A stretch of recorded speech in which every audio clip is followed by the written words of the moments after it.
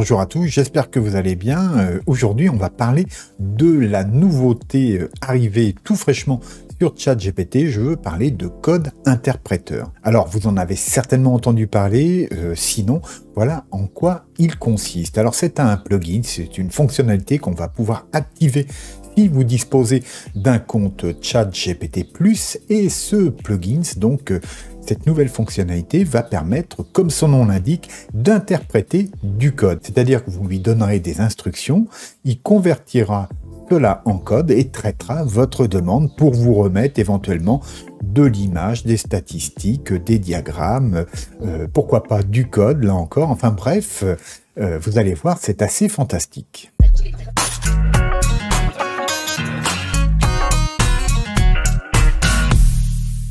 Oui, ChatGPT code interpréteur, c'est vraiment une dinguerie. En quelques jours, là, je l'ai beaucoup utilisé et on arrive à faire des choses fantastiques avec lui. Alors, plus précisément, de quoi s'agit-il hein? Eh bien, en fait, on va donner des instructions à ChatGPT et grâce à code interpréteur, il va le transformer en code Python et ce code Python va pouvoir transformer des choses.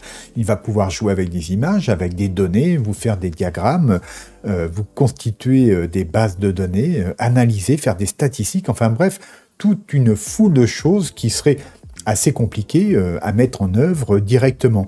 Et en plus de ça, il peut jouer vraiment avec tout un tas de fichiers. Donc, évidemment, les fichiers texte, CSV, Excel, les images, bref, des formes de données sous XML, YALM, évidemment euh, Python, mais JSON, le HTML, le PDF, enfin plein de choses euh, y passent. Alors dans cette vidéo, moi ce que j'ai prévu de vous faire voir, là c'est trois exemples, on va jouer d'abord euh, avec une image et la transformer en vidéo. Deuxièmement, eh bien, on fera de l'analyse d'image, donc un petit exemple assez sympa. Et en troisièmement, on traitera des données. Alors, en toute fin, je vous parlerai aussi de ce que j'ai pu faire avec lui en une journée. Vous verrez, c'est assez impressionnant et, et donc, euh, n'attendons pas, allons voir euh, tout cela tout de suite. Alors, comme toutes les fonctionnalités euh, bêta, il faut activer donc cette nouvelle fonctionnalité.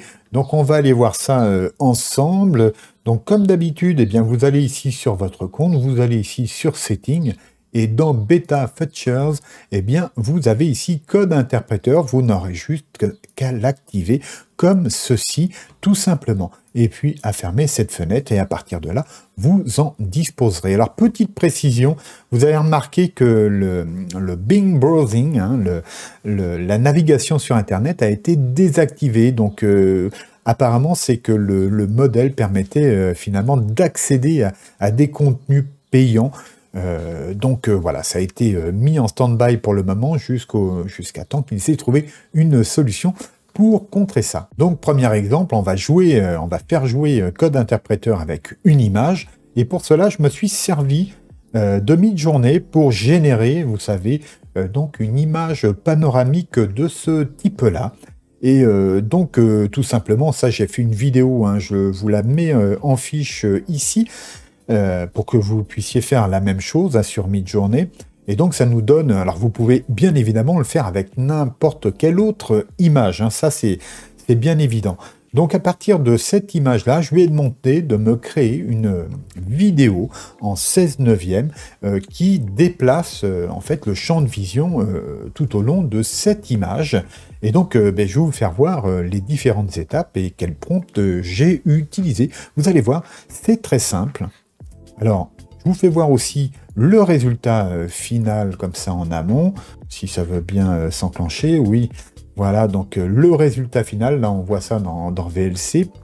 Hein, donc vous voyez que c'est sans saccade, hein, que c'est parfaitement réalisé et que la qualité est plutôt au rendez-vous. Alors mon image n'était pas exempte de défauts, mais on va dire que voilà que l'essentiel était là. Alors comment j'ai fait? Alors premièrement, le prompt, le prompt, je vous le fais voir tout de suite. Vous allez voir, il est très court et très simple. Donc bien évidemment, je me suis servi ici du modèle code, interpréteur. Donc euh, je vous fais voir en, quelque sorte euh, comment ça se passe. Hein. Vous allez ici, une fois qu'il a été activé, eh bien vous sélectionnez ici ce modèle. Donc je reviens donc à ma création de panorama en 16 neuvième. Voilà. Hein, je ne vais pas vous le lancer en direct, hein, on va voir les différentes étapes à partir de, cette précédente discussion. Et donc voilà le fameux prompt. Alors voici une image panoramique réalisée avec elle une vidéo au format 16 neuvième qui réalise un panorama de gauche vers la droite par des pas de 8 pixels. Et un point, c'est tout. Hein. Il n'y a pas besoin euh, d'en rajouter. Euh, et puis, euh, comment on envoie en fait l'image sur ChatGPT? Eh Bien, vous avez ici, comme vous pouvez le voir, le petit bouton plus. Donc, vous cliquez dessus, vous sélectionnez votre fichier et vous l'envoyez. Et à la suite, ben, vous tapez tout simplement ce prompt hein, et vous envoyez tout ça par ici en cliquant ici. Et puis, il discute évidemment, donc il me dit d'accord, nous allons découper, etc. Et puis, vous pouvez voir ici qu'à chaque étape, eh bien, on a le code Python euh, qui, va, euh, euh, qui va être montré. Donc là, cette fois-ci, il a tout commenté en me montrant comme ça chacune des étapes. Hein. Et puis au final, donc là, voilà, ça c'est la dernière étape hein, où il rassemble tous les éléments qu'il a précédemment découtés découpé, pardon, et puis au final, eh bien, vous vous retrouvez ici avec un lien qui va vous permettre de télécharger la vidéo que je vous ai fait voir euh, précédemment. Et comme ça, en quelques instants, eh bien, on passe d'une photographie euh, panoramique à une vidéo 16 neuvième. Ben voilà, mais j'espère que l'idée vous plaît et que ça vous donnera euh, d'autres idées créatives, parce que moi, je lui ai demandé de faire ça, mais on peut faire des zooms, on peut imaginer des tas d'autres choses. Alors j'ai un message important pour vous, créer ces vidéos sur YouTube est un vrai travail qui demande des efforts et du temps. Et il est parfois difficile d'être visible sur YouTube. Alors pour m'aider, et si vous souhaitez avoir plus de vidéos sur cette chaîne et soutenir mon travail ici, merci de prendre quelques secondes de votre temps pour cliquer ci-dessous sur le pouce vers le haut pour vous abonner si ce n'est pas déjà fait et pour activer la cloche qui vous préviendra des prochaines publications. Enfin, si vous pouvez partager cette vidéo sur vos réseaux, ce serait génial. Je vous remercie. Eh bien, deuxième exemple d'utilisation de code interpréteur. Et là, on fait, euh, on fait Mumus toujours avec l'image, mais cette fois-ci, vous voyez, j'ai envoyé euh, cette photographie euh, ici, donc sur ChatGPT ici, avec le prompt suivant. Utilisez Python et la méthode AR pour détecter les visages dans cette image. Donnez le nombre de visages détectés et présentez les résultats en entourant les visages d'un cadre de couleurs. Eh bien, euh, euh, il faut savoir que là encore, ChatGPT est capable de nous faire une analyse de cette image via le code interpréteur et voici le résultat. Alors, il y a une erreur malgré tout, comme vous pouvez le voir dans cet exemple, il a détecté un visage ici sur le, euh, le bras de la personne ici, et donc il me compte cinq visages. Bon, c'est une petite erreur, j'en ai fait plein d'autres des tests euh, euh, ça lui arrive, si par exemple il y a des motifs sur des tissus, sur des vêtements, il peut détecter des visages euh, qui n'existent pas. Mais je trouve ça intéressant. Et là encore, vous voyez, il accède à des tas de bibliothèques. Et à vous de rechercher ce que vous pourriez faire avec. On peut en utiliser un certain nombre. Je ne les ai pas toutes recensées. Je pense que c'est très fourni. Mais en tout cas, voici un petit exemple encore assez sympa de ce qu'il est possible de faire euh, avec. Et je dois vous dire que parfois, il me disait qu'il n'était pas capable de le faire. Si ça vous arrive euh, vous-même, eh bien, demandez-lui euh, quand même, insistez en lui disant si je sais que tu peux le faire, je l'ai vu ailleurs. Et à partir de là, ah, il s'excuse et vous dira désolé pour cette confusion. Voici, je peux le faire et, c'est parti, mon kiki. Donc voilà, hein, rien d'exceptionnel, mais c'est quand même Impressionnant, vous ne trouvez pas? Dites-le moi en commentaire, je suis curieux de savoir si ça vous amuse vous aussi. Allez, troisième et dernier exemple euh, de cette euh, vidéo.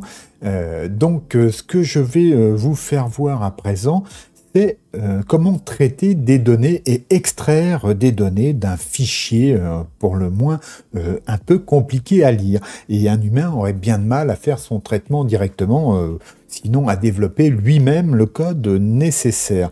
Donc pour cela, je vais vous faire voir donc ce fichier brièvement. Vous voyez, c'est un fichier CSV. En fait, c'est un fichier de données qui résulte des téléchargements sur mon site Direct Solutions.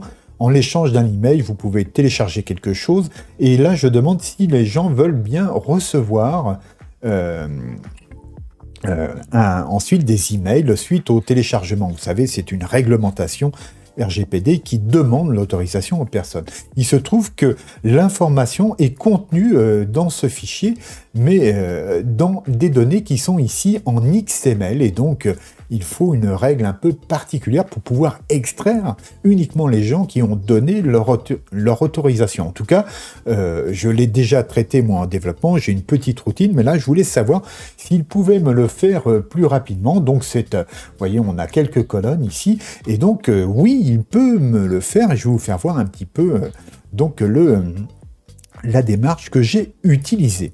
Donc, euh, en gros, euh, voici la commande que j'ai passée. Alors, j'avais fait plusieurs tests avant, ce n'était pas optimal, mais au final, je lui ai proposé ce prompt-là qui dit ceci. Voici un fichier CSV la colonne posted data comprend des données XML, traitez uniquement les lignes dont la colonne posted data comprend une balise item 0 euh, euh, et, donc et la fermeture ici que l'on voit là, non vide. Et à l'intérieur de ces données XML, puisque vous voyez, on est on a un CSV dans lequel il y a des données euh, XML, c'est un peu compliqué, eh bien, extraire le contenu de la balise prénom-nom et your email de plus, dédoubler les emails. Enfin, formater les données extraites en CSV téléchargeable avec deux colonnes, username et email. Eh bien, effectivement, il me l'a fait, euh, pas du premier coup, mais euh, au bout de deux, trois essais, et parfaitement retranscrit. Euh, je veux dire, pour moi, c'est très pratique. J'avais fait une routine pour extraire ces données précédemment avec PHP et XSLT, mais c'était voilà, c'était un petit peu compliqué.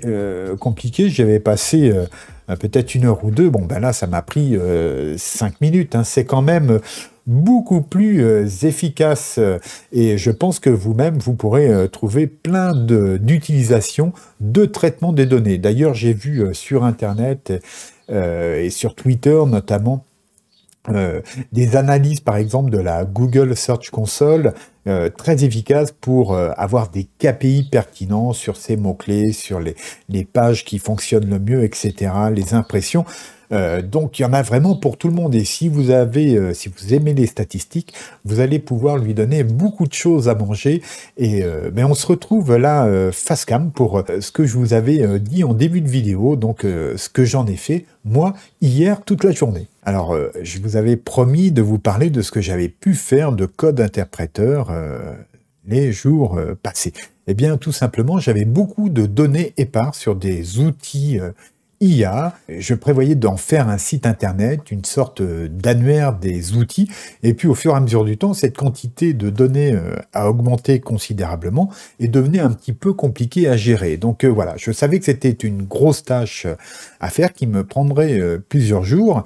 Et en fait, je me suis dit, tiens, mais si je donnais ça à ChatGPT, code interpréteur, est-ce qu'il ne serait pas en mesure de me mettre ça en forme pour que je n'ai finalement plus qu'à envoyer cela euh, sur un WordPress ou sur un autre CMS et, construire très rapidement un site web. Eh bien, en effet, euh, il me l'a fait et en une journée, en fait, j'ai pu euh, convertir des tas de données, les agréger et constituer une base de données qui va me permettre de mettre en ligne très prochainement un site dont je ne manquerai pas de vous parler prochainement. Alors tout ça c'est pour bientôt, mais pour le moment et avant de nous quitter, n'oubliez pas de mettre un petit pouce vers le haut, de vous abonner, d'activer la cloche pour être prévenu des prochaines sorties et de partager cette vidéo sur vos réseaux. Cela aidera beaucoup la chaîne et son développement. Merci à vous. Et je vous dis à bientôt, gardez-vous bien, au revoir.